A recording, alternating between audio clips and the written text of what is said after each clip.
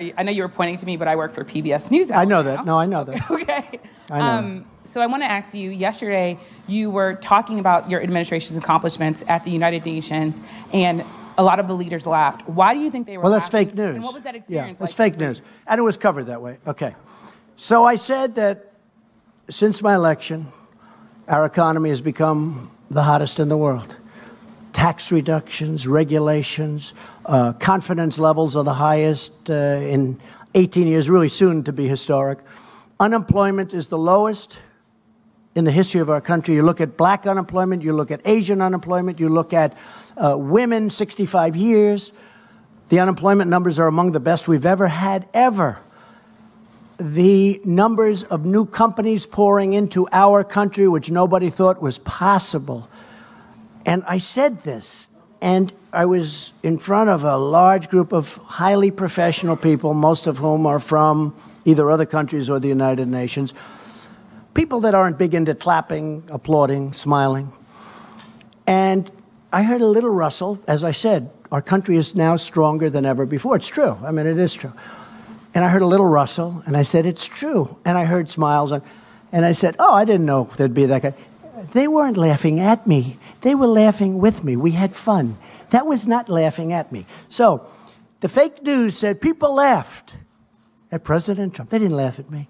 People had a good time with me. We were doing it together. We had a good time. They respect what I've done. The United States is respected again. United States was not respected. Everybody was taking advantage of us, from jobs and taking our companies and not paying the price to so many other things, even military protection. I told a number of countries over the last few days, I said, listen, you're a very rich country. We protect you. Without our protection, you would have real problems. And I you would have real problems. I wanna- I said, you should reimburse us for this protection. Why are we protecting you? And do you want to know what they said? After about two minutes of talking, they agreed with me. And you can ask this group of very talented people. They agreed with me. But they said, one of them said, but Mr. President, nobody ever asked us for that. They never asked us for that. Nobody's ever said, you should pay. These are really wealthy countries. I mean, I'll be honest, I just asked Japan.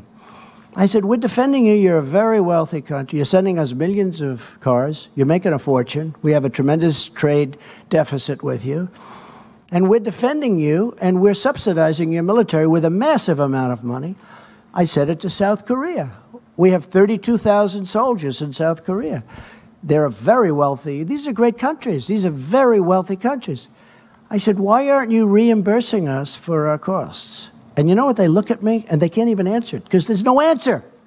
If they're a poor country and they needed protection and people were going to die, I'm all for protecting them. I don't want 10 cents.